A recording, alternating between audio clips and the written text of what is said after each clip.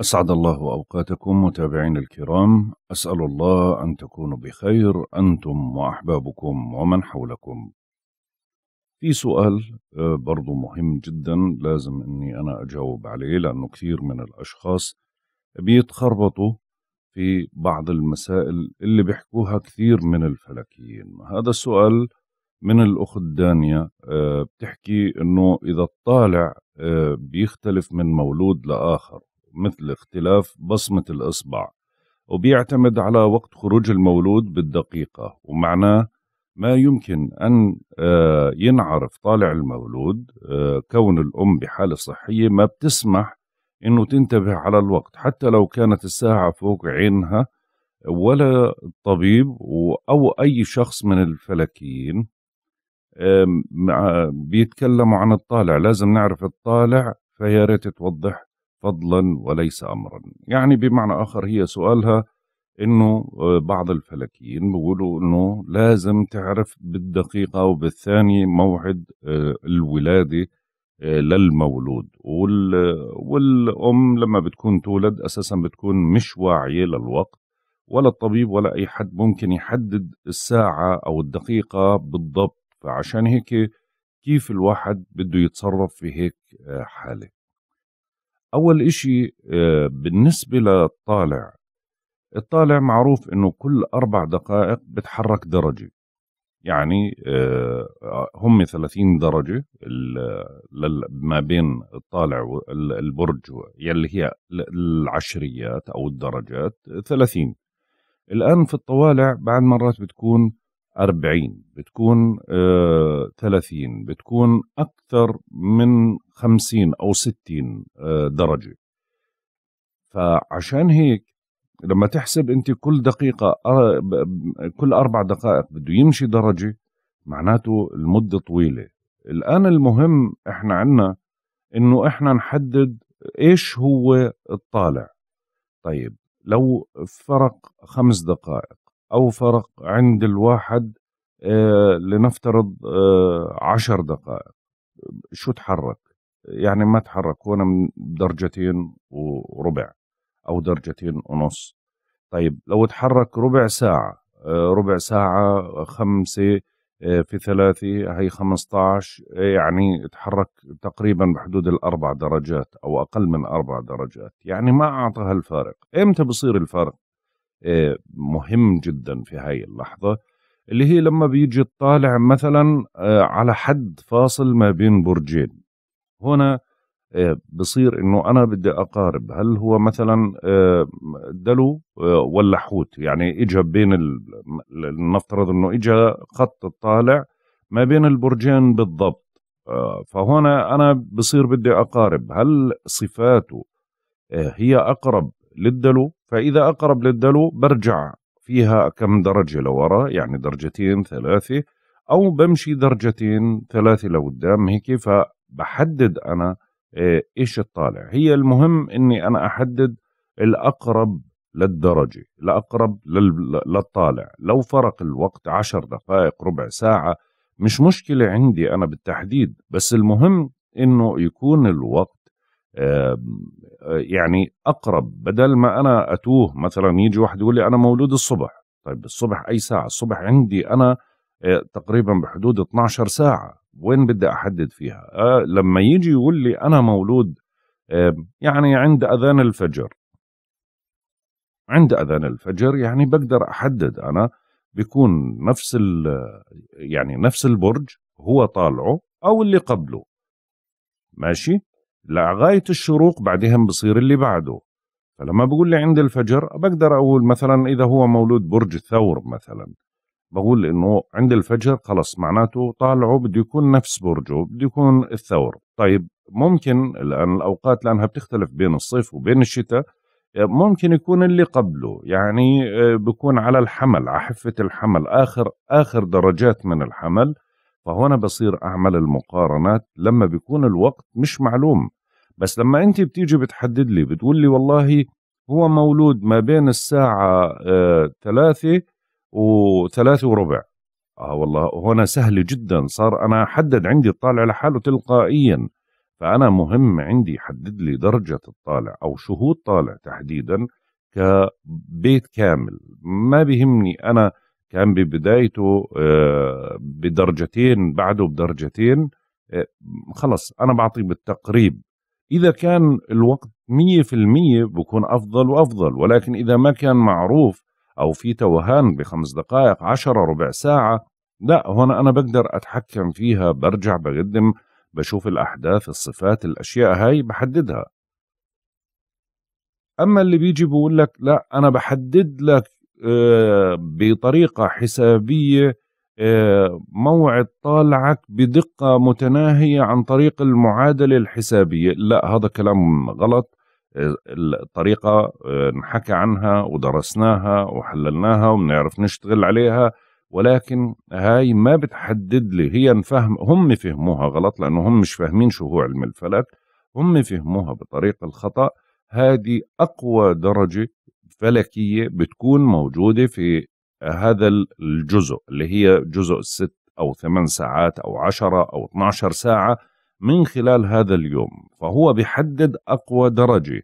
المواليد اللي بنولدوا في هاي الدرجة هم اللي بأخذوا أكبر طاقة خلال هذا اليوم. أما إنه أجي أحسب لك أقول لك آه لا أنت مولود الدرجة كذا في الثاني كذا في الدقيقة كذا هذه الطريقة طريقة خاطئة. لو حسب بعدها بساعة بساعتين بثلاثة برجع على نفس الدرجة هاي. يعني لو جيت قلت له أنا مولود الساعة خمسة أو ستة أو سبعة أو ثمانية أو مولود الساعة 12 برجعك على نفس الدرجة لأنه المعادلة هاي بتنحسب لقوة درجة الطالع مش بتنحسب لتحديد درجة الطالع. فهم بيستغلوا الناس إنه تعال أنا أحسب لك الدرجة هاي باخذ منك 100 200 300 دولار عشان يحدد لك درجة الطالع وبعدين تطلع مش درجتك أساسا لأنه لو جرب أي حد بيعرف يشتغل على هاي المعادلة بيعرف ساعة ميلاده واجى حسب عليها بلاقي إنه درجة الدرجة على طول تغيرت بالنسبة له لأنها هي قوة درجة الطالع ما إلها علاقة بطالعك أنت. خلينا نروح على توقعاتنا لليوم. طبعا اليوم توقعاتنا ليوم الأحد 29 أيار مايو. القمر اليوم راح يكون متواجد ما بين برجين يعني هو الآن موجود في برج الثور ولكن في ساعات المساء بده ينتقل آه، من مساء اليوم الأحد بده ينتقل ويروح على الجوزاء. الآن القمر موجود في منزلة الدبران وهي منزلة سيئة لا تصلح إلا للعداء والمشاكل ومن الأفضل عدم البدء بأي شيء جديد. طبعا القمر رح يمكث في هاي المنزلة لغاية ما بعد منتصف ليل السبت على الأحد يعني الساعة 12 19 دقيقة بتوقيت غرينتش من آه، أول 20 آه، دقيقة من بعد منتصف الليل آه، ليل السبت على الأحد. زي ما حكينا لينتقل بعدها القمر لمنزلة الهقعة وهي منزلة سيئة لا تصلح إلا للأشياء المضرة بما ينفع. مثل استخراج السموم أو الأسحار وكذلك من الأفضل عدم البدء بأي آه، عمل جديد. بما إنه القمر موجود في برج الثور فبالفترة هاي بظل خلال هذا اليوم ان بنشعر بالحذر أكثر ومنميل للمحافظة على ممتلكاتنا وقلما نبحث عن شيء جديد. يجب أن نعتمد على أنفسنا ماديا وألا نفكر في اقتراض المال من مصرف أو من صديق في فترة وجود القمر في برج الثور يستحسن البدء ببرنامج ادخار يمكننا شراء عقار ما أو استئجار عقار ما أو انتقال من بيت لبيت وقضاء وقت ممتع بالبيت مع العائلة. ممكن برضو هاي الفترة إنه الواحد يشاهد تلفاز مثلا مع العائلة أو شغلات من هذا القبيل. بالنسبة للزوايا الفلكية طبعا في عنا زاويتين انتهوا. آه، خلصوا أو طلعت صار انفصال عنهم ولكن في زوايا ما زالت موجودة. أول زاوية هي بداية آه، اللي هي زاوية تسديس إيجابية بين عطارد وبين نبتون وهي مستمرة لغاية يوم 9 6 هي الزاوية هاي بتعطينا قدرة على قراءة مشاعر الآخرين من حولنا دون أن يعبروا عنها بصراحة. أما بالنسبة للزاوية التي تليها وهي زاوية تربية سلبية بين عطارد وبين زحل وبرضه مستمرة هاي لغاية يوم 9 6 وهاي الزاوية بما أنها سلبية فهي اللي بتسبب نوع من أنواع التعب والقلق والحذر والميل للكآبة وبتحد من خيالنا وبتجعلنا شاردين الذهن ومتقلبين وبتعرض بعض الأشخاص للإرهاق وهذا الشيء اللي ممكن يضر بصحة البعض. أما بالنسبة للزاوية التي تليها وهي زاوية تثليث إيجابية بين عطارد وبين بلوتو هاي مستمرة لغاية يوم 31 خمسة. هاي الزاوية بتزيد من حدة ذهننا والحدس والنقد وبتمنحنا حب للعدالة والاهتمام بالأمور الغامضة وبتساعدنا في تنظيم أعمالنا والنجاح بمشاريع واتخاذ قرارات لازمة.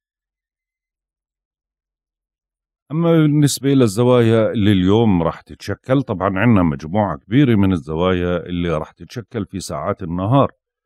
وأول زاوية هي زاوية تسديس إيجابية راح تكون بين القمر وبين نبتون وهاي راح تكون في تمام الساعة 7 و48 دقيقة صباحا بتوقيت جرينتش هاي الزاوية طبعا مستمرة لغاية ساعات ما بعد العصر وهي اللي بتعزز الخيال الخصب وبتقوي الحدس.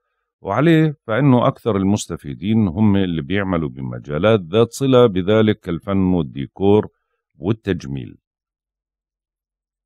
أما بالنسبة للزاوية التي تليها وهي زاوية تربيع سلبية بين القمر وبين زحل وهي برضو نفس الشيء راح تكون في تمام الساعة 57 دقيقة صباحا منواجه مصاعب وعراقيل تتطلب منا أن نبذل جهد لنتغلب عليها بأنفسنا وألا نعتمد على الحظوظ. بيفتقر البعض للشجاعة اللازمة لمواجهة مشاكلهم فبيلجأوا للهروب إلى الماضي بدل من مواجهة الحاضر. أما بالنسبة للزاوية التي تليها وهي زاوية بطيئة طبعا هي زاوية اقتران إيجابية بين المريخ وبين المشتري وهي مستمرة طبعا من اليوم ذروتها وراح تستمر لغاية يوم 2 6 هي اليوم راح تتشكل ذروتها الساعة 10 ونص صباحا بتوقيت جرينتش بتخلق جو من التسامح بحيث إنه ممكن نتسامح مع من أخطأ ويخطئ بحقنا ومنمد يد العون لهم وممكن تدفعنا للتراجع عن بعض الأخطاء. أما بالنسبة للزاوية التي تليها وهي زاوية اقتران إيجابية بين القمر وبين عطارد وهي راح تكون في تمام الساعة 11 و14 دقيقة ظهرا بتوقيت جرينتش طبعا هاي مستمرة لغاية ساعات المساء. من ساعات الصباح لساعات المساء تأثير هاي الزاوية موجود. بنشعر بقوة الفكر والقدرة على الإدراك الجيد للأمور بالإضافة إلى نشاط الذاكرة وسرعة البديهة. أما بالنسبة للزاوية التي تليها وهي زاوية تثليث إيجابية بين القمر وبين بلوتو وهي راح تكون في تمام آه، يعني الساعة ثنتين وعشر دقائق بعد الظهر وهي آخر زاوية قبل خلو المسار. طبعا هاي مستمرة لغاية ساعات المساء من ساعات الصباح لساعات المساء. هي الزاوية هاي اللي بتعزز قدرتنا على السيطرة على مشاعرنا وأفكارنا وبنتمكن من الغوص عميقا في نفوسنا وإحداث التغييرات المطلوبة. بعد هاي الزاوية مباشرة ببدأ عنا خلو المسار. يعني خلو المسار رح يبدأ الساعة 2 وعشر دقائق بعد الظهر بتوقيت جرينتش ورح يستمر لغاية الساعة 5 و22 دقيقة يعني عند المغرب تقريبا بتوقيت جرينتش آه، مساء هذا بيعني أنه الفترة المذكورة لا تصلح للبدء بأي عمل جديد أو مهم. مثل توقيع عقد أو خطوبة أو زواج أو شراء شيء ثمين بل إكمال العمل اللي بدأنا فيه قبل خلو المسار. الساعة خمسة واثنين وعشرين دقيقة مساء بتوقيت غرينتش القمر بيكون انتقل تماما إلى برج الجوزاء وبلش يشكل أول خطوط زوايا المنفصلة. في هاي الفترة بما أنه القمر رح يكون في الجوزاء بننشط في اتصالاتنا بنشعر بعنصر الحركة بيلعب دور ملحوظ في حياتنا اليومية بيتقلب الناس من حولنا في أفكارهم وتصرفاتهم أكثر من المعتاد وبيصعب تصديق كل وعد أو كلمة تقال. علينا إنجاز اتصالاتنا الهامة من رسائل ومكالمات وغيرها وبوسعنا أيضا الانضمام لدورة دراسية أو تعلم لغة جديدة أو الانضمام لعضوية نادي. بالنسبة للأعضاء اللي في جسمنا الأكثر حساسية واللي لازم نوفر لها العناية الإضافية اليوم طبعا من الآن لغاية ساعات المغرب العنق والحنجرة والحبال الصوتية الغدة الدرقية اللوزتين وتفاحة آدم. أما من ساعات ما بعد مغرب يوم الأحد بتصير الأعضاء الأكثر حساسية الكتفين والذراعين واليدين والجهاز التنفسي أنابيب الشعاب الهوائية والرئتين والوصلات العصبية المهارات الاستشعار اللي هو الجهاز العصبي ونظام التبادل اللي هو نظام آه، الشعيرات الدموية. هدول أكثر حساسية فلازم نوفر لهم العناية الإضافية. بالنسبة للعمليات الجراحية طبعا ما في أي مشاكل اليوم أنه ينعمل آه، عمليات جراحية خصوصا العمليات الطارئة أو العمليات الصغرى. أما العمليات الكبرى إذا كانت تتعلق في نفس الأعضاء اللي إحنا ذكرناها فما بنصح في هذا الموضوع. بالنسبة لعمليات التجميل طبعا ما زال عطارد بيتراجع والزهرة بشكل زاوية حادة فما زالت الأمور ما بنصح فيها. ممكن آه، تنظيف أو تقشير بشرة أو هذا النوع ما في أي مشاكل. ولكن الحقن والجراحة التجميلية لسه ما بنصح فيها. طبعا هذا اليوم يصلح لإزالة الشعر الزائد ويصلح لقص الشعر التجميلي والصبغ ولكن لا يصلح للقص العلاجي.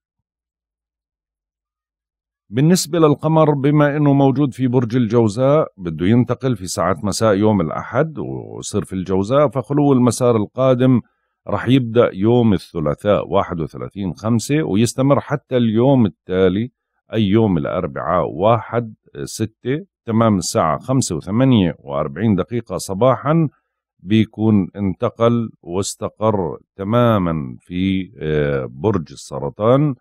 آه، يعني تقريبا بدنا نحكي إنه من المساء لغاية اليوم التالي.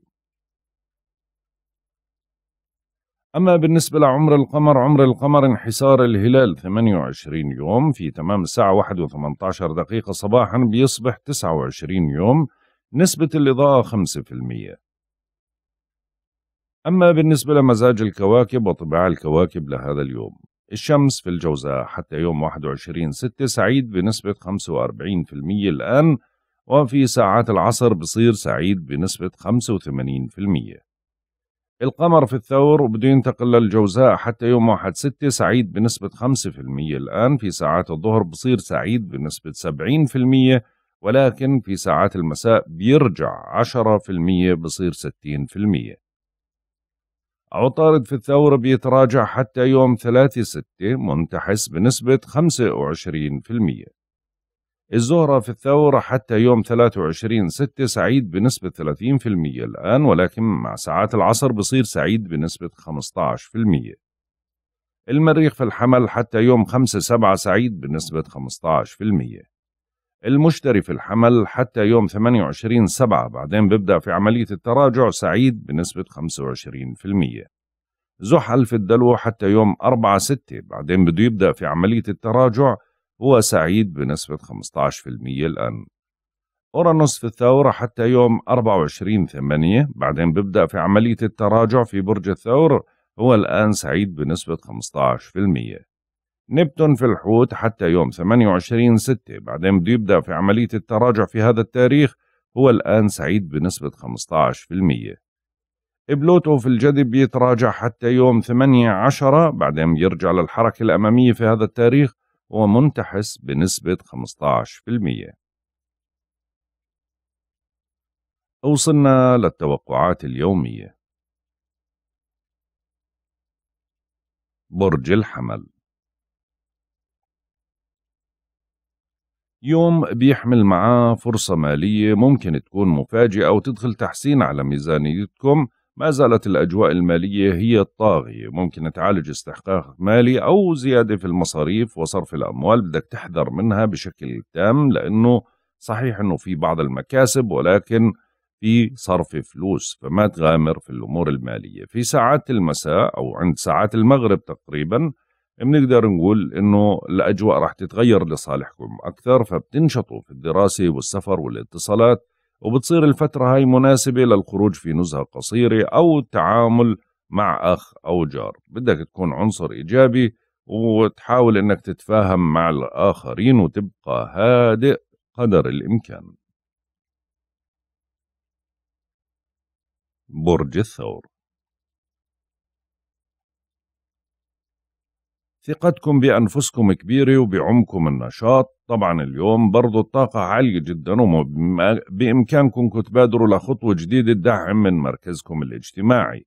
طبعا هذا الفرص الاجتماعية والمناسبات واللقاءات كلها ممتازة جدا لغاية ساعات المغرب. من ساعات المغرب الأجواء راح تتغير تماما بصير الوضع ممتاز على المستوى المالي فممكن يعني يصير في فرصة لمكاسب مالية أو ممكن مفاجأة تدخل تحسين على ميزانيتك وبتنشطوا بالاتصالات والزيارات وممكن تهتموا لا خطة أو للقيام بزيارة معينة ولكن الأمور المالية هي اللي رح تكون طاغية خلال ساعات المساء. برج الجوزاء طبعا ما زال القمر موجود في بيت المتاعب لغاية ساعات المغرب فعشان هيك بتضل الفترة هاي تطلب منكم عدم المبالغة في جهدكم الجسماني وحاولوا إنكم تنجزوا فقط ما بوسعكم من عمل متراكم دون إهمال صحتكم. طبعا هذا الضغط رح يضل لغاية ساعات المغرب من ساعات المغرب تصبح ثقتكم بأنفسكم كبيرة وبيعمكم النشاط وبإمكانكم تبادروا لخطوة جديدة تدعم من مركزكم الاجتماعي. لأنه القمر رح ينتقل ويستقر عندكم رح يعطيكم فرصة لأيام ممتازة جدا قادمة وتكون لمصلحتكم. برج السرطان. بالنسبة لمواليد برج السرطان رح تسعدوا من لقاء الأصدقاء وتعاونهم معكم. ممكن يفاجئكم أحدهم بتصرفاته أو طلباته ولكن من ساعات المساء الأجواء رح تتغير تماما لأنه القمر رح ينتقل لبرج الجوزاء رح يصير في بيت متاعبكم فبتصير ال ال اليوم بيتطلب منكم من ساعات المساء عدم المبالغة في جهدكم الجسماني. حاولوا أنكم تنجزوا ما بوسعكم من عمل متراكم دون إهمال صحتكم. لا تراهن على الحظوظ ممكن تعاني من ركود ومراوحة المكان. أهم شيء إنك ما تجازف لا بصحتك ولا بعلاقاتك. برج الأسد. يوم مناسب للأشخاص اللي بيبحثوا عن عمل أو بيرغبوا في إدخال تعديل على طبيعة عملهم وبوسعكم إثبات جدارتكم للمسؤولين. طبعا هذا بيت السمعة. اليوم ما بيجوز لا المجازفة ولا المغامرة ولا مخالفة القوانين وحاول إنك ما تتغيب عن عملك. الأجواء بظل فيها علامات استفهام لازم تكون حذر خلال هذا اليوم. من ساعات المساء أو عند ساعات المغرب بتسعدوا من لقاء الأصدقاء وتعاونهم معكم. ممكن يفاجئكم أحدهم بتصرفاته أو طلباته بترافقك رياح مؤاتية رغم الضغوطات. حاول أنك تكرر المحاولة إذا أردت الدعم والتأييد. فترة مناسبة للانضمام إلى جمعية أو مؤسسة بتتلاقى مع طموحاتك. برج العذراء.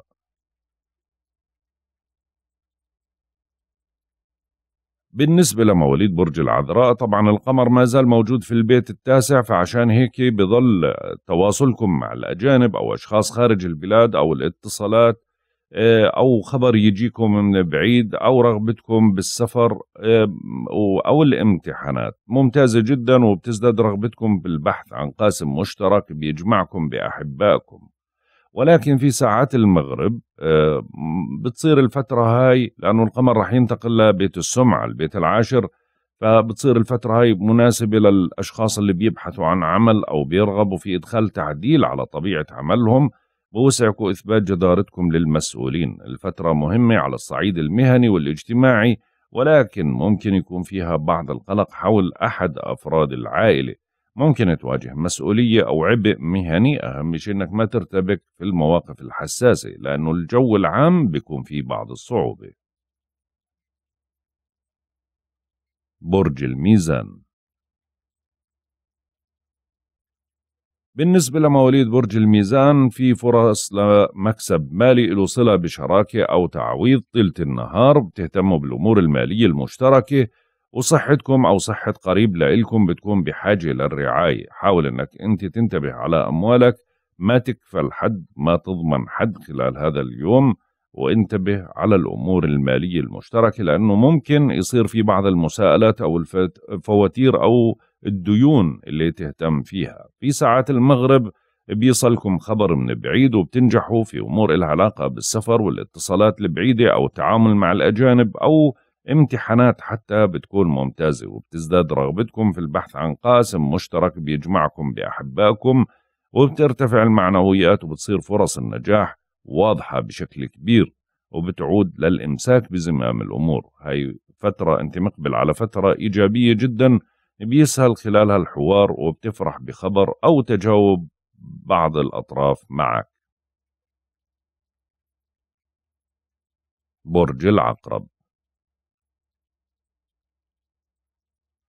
طبعا ما زالت الأجواء بما إنه القمر ما زال يعني في في درجة المقابلة فبنقول إنه يوم مناسب للقيام بعمل بيتطلب تعاون من طرف ثاني. وبوسعكم تعزيز شراكاتكم ولكن بدكم تنتبهوا طيلة النهار من العصبية وردات الفعل والانفعال والطاقة الضعيفة. أما بين ساعات المغرب بتتغير الأوضاع وبتمنحكم فرصة لمكسب مالي له صلة بشراكة أو تعويض وصحتكم أو صحة قريب لإلكم بتكون بحاجة للرعاية ممكن تفكروا بمستقبلكم أو نوع من أنواع الادخار أو التفكير بالوضع المالي أو تحسين الوضع المالي.